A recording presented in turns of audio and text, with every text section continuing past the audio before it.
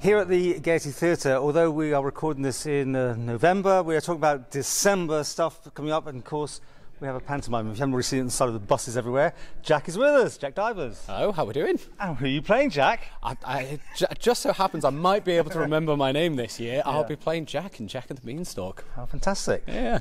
So, um, this has been a, a work in progress for a while, or do you now start your major rehearsals? Uh, no, we don't start rehearsals till the 10th of December, so it's a, it's a week intensive. Um, so, because some of the guys are based in the UK and some based here, um, we all meet up on the 10th and we do every single day from nine o'clock in the morning till eight o'clock at night, and then we go straight through and straight into our run till New Year's Eve. Okay, but have you seen the script yet? Because it's one of these things that they work on all the time, don't they? Uh, Put the Manx stuff in. Yeah, yeah, yeah. I mean, I think Obviously not, yeah. I haven't. No, I haven't seen anything yet. Um, but it's it's it's one of those. In that intensive week, we work a lot on it, and we all work together and sort of because you know you know what the Isle of Man's like. Everything can change within a week. Yes. Um, so something might seem very topical now. Like I think last year, the jet ski gag didn't happen till three days before the show happened, and Yeah, that yeah, literally got put in last minute. Yeah. Um, so we it'll be something we'll work on during the week, so it, it all all happens Okay. and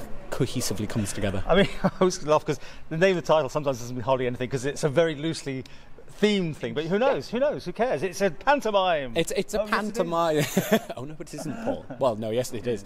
Um, it's yeah. There's lots of fun parts in there. We've got mascots. We've got lots of different exciting characters. There's going to be um, lots of light sticks and everything so Yeah. people can get involved. It's just as much as it's like any normal panto that you have every year. We've got our dames, lots of beautiful colour, um, beautiful costumes and sets, and it'll just be visually exciting. Oh, you as well love this, don't you? You Oh, love love it. panto. Who doesn't love panto, Paul?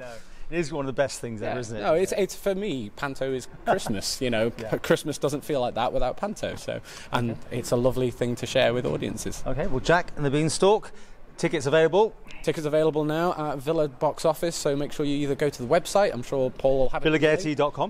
Yes, Okay. perfect. Oh, you've got it there. It's very good. Very good, Paul. It's like you've done this before.